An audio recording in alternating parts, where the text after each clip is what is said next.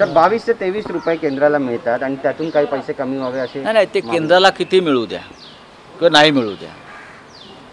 या देशातील जनतेचं महागाईपासून रक्षण करणं हे कोणत्याही सरकारचं काम आहे. सरकार तिथे व्यापारासारखं बसलेलं नाही आहे फायदा आणि तोटा पाहायला. आपण रामाच्या राज्यात राहतो. पण बाजूला रावणाच्या राज्यामध्ये आणि सीतेच्या राज्यामध्ये नेपाळ आणि श्रीलंका. आपल्यापेक्षा चाळीस टक्क्याने कमी आहे पेट्रोल आणि डिझेल.